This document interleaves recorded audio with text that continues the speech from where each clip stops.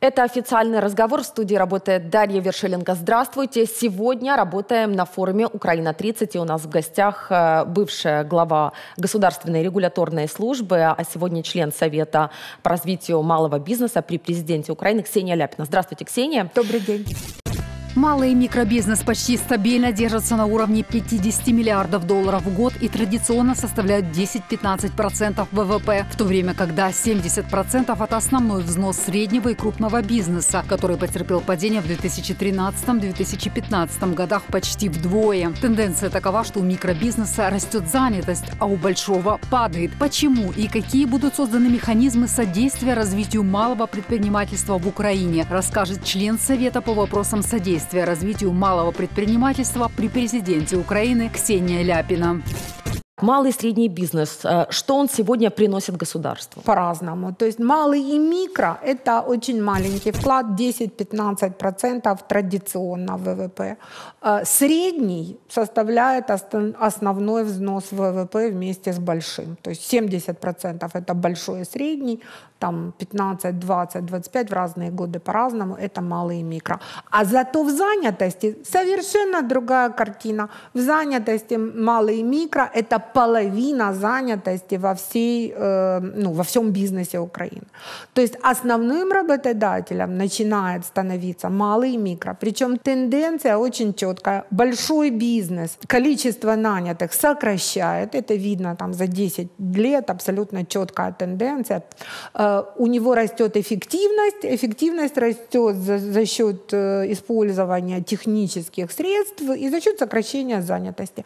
Куда же идет эта занятость? Занятость. А вот эта занятость, это же люди, это не просто показатель абстрактный, это конкретные люди со своими компетенциями. Вот эти люди выбрасываются, условно говоря, на рынок, и вот они как раз и составляют основной рост занятости в малом и микробизнесе. Причем как нанятыми работниками, так и со самостоятельными ФОПами. Многие из них начинают свою предпринимательскую деятельность.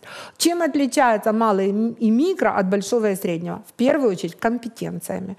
Вот микробизнес – это альтернативная занятость. Человек не получает особых прибытков, э, особых прибылей, но в то же время человек имеет стабильный доход. Э, И он себя сам обеспечивает. сам себе. Он сам создает себе рабочее место, он сам себе и, там, и менеджер, и бухгалтер, и юрист, и все остальное, что необходимо для обеспечения субъекта хозяйствования в Украине. Как вы понимаете, естественно, эта компетенция ну, не может сравниться с компетенцией юридического управления в каком-нибудь заводе или отдела кадров или бухгалтерии отдельной. То есть это э, э, значительно более низкие компетенции, для которых и нужно создавать регуляции более простые и более доступные. Какие сегодня две самые большие проблемы малого и микробизнеса? Излишние регуляции. А что именно нужно сфере. сократить? В первую очередь упростить трудовое законодательство. Что именно? Э, ну, сделать, э, убрать бюрократию. То есть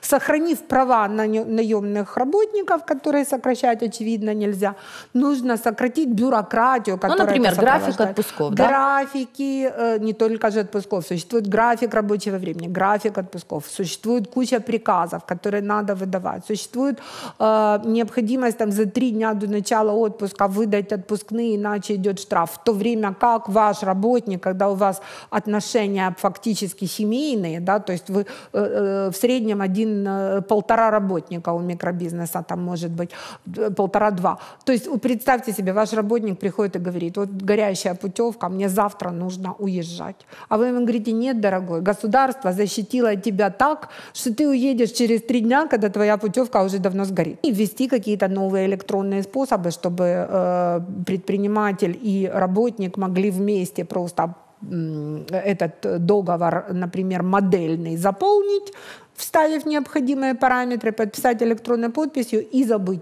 И тогда бы автоматически во все необходимые фонды пошло сообщение о том, что такой наемный работник принят э, на работу, приступил к работе, все-все-все, всю эту бюрократию. А не получится так, что мы просто бумажную волокиту переведем в электронную Ни в коем волокиту. случае этого делать нельзя, это возможно, но делать этого нельзя, поэтому мы и говорим о том, что этот договор должен базироваться э, на сокращенном количестве параметров. То есть многое из того, что сегодня есть, есть в бюрократии, убирается.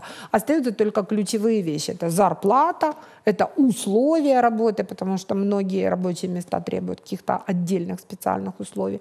И это возможный, э, ну, возможный график работы. То есть когда, например, работник соглашается, что он будет работать там после обеда и там до 8 вечера, например. Это не традиционный рабочий день, но тем не менее работнику почему-то так лучше. Ну, например, там с утра ухаживает за ребенком, потом э, освобождается и так далее. Вторую проблему, которую предлагает решить наш э, совет. Это проблема смягчения требований э, законодательства о рыночном надзоре. Это новое европейское законодательство, которое Украина взяла на себя обязательство внедрить.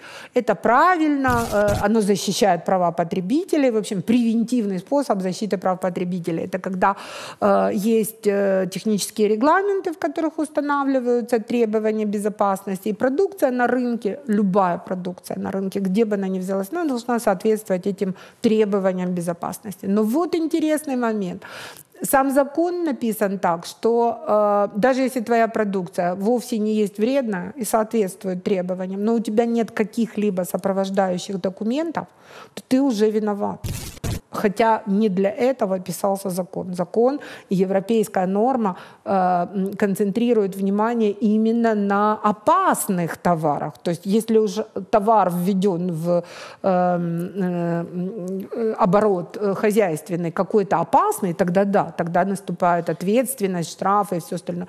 А если у тебя просто нету каких-то документов, но товар соответствует требованиям, он безопасен, то ответственность ты нести в принципе не должен и к введению кассовых аппаратов. Вы, и к введению вы сегодня аппаратов. заявили, что это э, лоббируется средним бизнесом. Это лоббируется организованным ритейлом.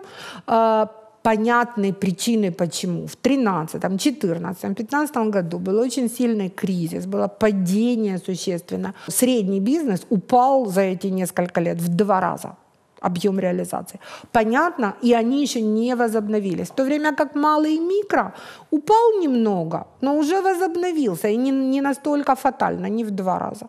И малый и микро э, как бы э, работает э, в тех же сферах, в первую очередь, потому что основное место, э, ну, вернее, как не место, а основное э, сегодня контингент малого и микро – это торговля.